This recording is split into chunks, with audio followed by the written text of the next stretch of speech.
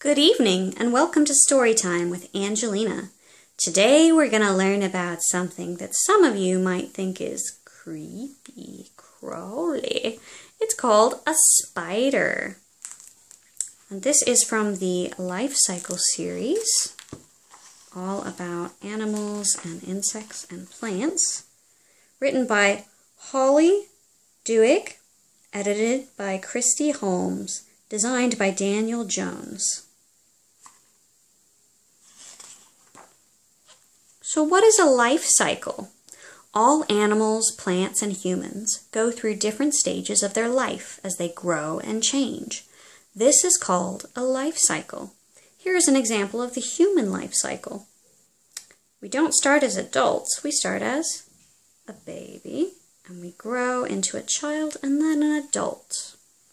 So, what is a spider? A spider is an arachnid. They have eight legs and a body made of two segments or parts. Can you imagine what it would be like to have eight legs and only two parts of your body? A head and maybe your tummy? Their bodies make silk, which they use to build webs, and it comes out of their bottom. There's a spider web there. Eggs. A female spider usually lays her eggs in spring. She wraps her eggs in a sack made of silk to protect them from predators. So here's the egg sac, and she doesn't want any of the other animals to eat her babies. That's what a predator would be. A single egg sac may be the home to just a few eggs or a few hundred. This is because different spider species lay different numbers of eggs. So there are lots of different kinds of spiders. And when you see two spiders that look alike and one is larger than the other, usually the one that's bigger is the female spider. Spiderlings. After a few weeks, the eggs will hatch Young spiders are called spiderlings, and they will crawl their way out of the egg sac. Before they hatch, spiderlings feed themselves by eating the yolk inside the, their egg. So if you've ever seen a chicken egg, use it for cooking, there's a yellow part inside. We call that the yolk. And then there's a white part as well. So just like a chicken, the spiders, when they're in the egg, they will eat part of the inside of the egg to live off of while they're still in the egg. Once spiders hatch, they must learn to hunt for insects. Some spiderlings stay close to their mother once they have hatched. The female wolf spider here carries her spiderlings on her back for 10 days after they hatch. Can you count the spiderlings? Ooh, I see the little bottoms. There's a lot on her back. Some spiderlings do something called ballooning. This is where they shoot silk into the air, which catches the wind and allows them to be blown away from their mother.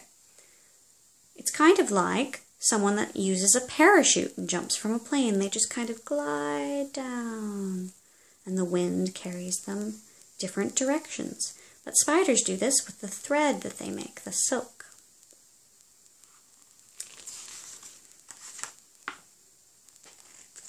Growing spiderlings.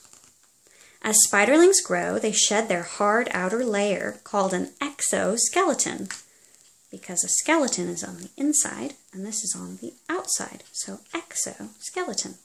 They shed this over and over again and it's called molting. They're not the only critter to do this either. Snakes also shed their skin. After molting, a spiderling's body is very weak. However, they don't stay like this for long because a bigger, harder exoskeleton begins growing straight away. Most spiders molt between 5 to 10 times as they grow. Spiders never get caught in their own web because they move across it on non-sticky threads. So some of the threads in their webs they don't get stuck to. Adult spiders will live in their webs, which they use to catch their prey. Spiders make their webs with a sticky silk, which traps insects that fly into it. Now, most spiders do live in webs, but jumping spiders are hunters, and they don't make webs. Adult female spiders begin looking for a mate, a sweetheart, so they can lay eggs of their own. Male jumping spiders have bright colors and long hair to attract females. So usually when you see spiders of the same species, the male um, will often be colorful to attract and impress the female. You look so soft and fluffy. And they are not this big. Scary spiders. Of course, we have an example of Australia. Lots of the world's biggest spiders are found in Australia. When you're afraid of spiders, this is called arachnophobia. So, some people are afraid of spiders in Australia because when the spiders are doing the ballooning, the little spiderlings, and they go through the air with their spider web, there's so many spiders that do this at the same time in some parts of Australia that it covers the ground and it looks almost like snow because of all the spider web. That's a lot of spiders. So there are a lot of people that would be very surprised and maybe afraid if they woke up to find that.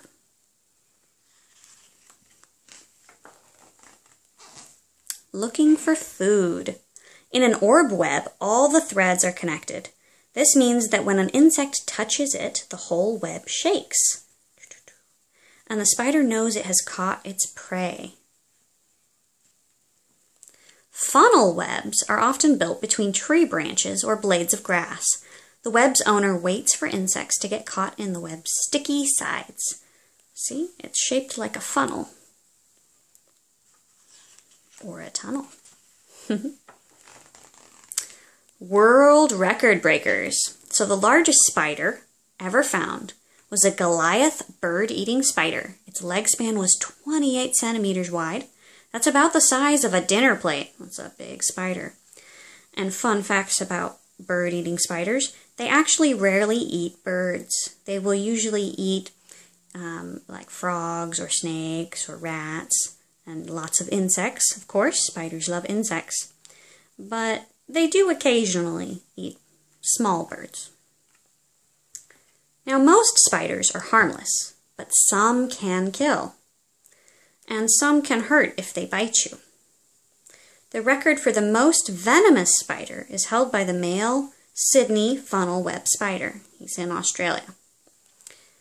Now, spiders are fun to play with and all, but it's true, some of them are dangerous.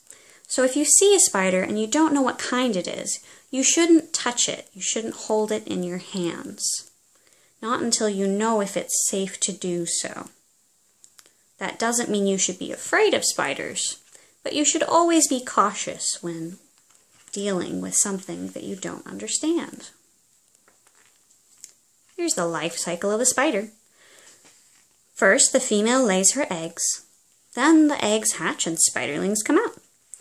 Then the spiders molt until they're fully grown, and the adult spiders build their own webs or go off to hunt and find another mate and start over from scratch with the eggs. Let's get exploring. Spiders live all over the place, but lots of spiders make their webs in dark places like sheds and attics. Why not see if you can find some? There you go venom. So this book is excellent for children because you get to learn all about the critters, but also it has a lovely glossary that explains these new words in bold. And don't be afraid of Australia, guys. Just because there are critters there that are not very safe to be around doesn't mean that the whole place is scary. I hope you enjoyed this and learned a bit about spiders. Fun fact for you as well, spiderlings, the ones that bundle up. Ooh, here we go.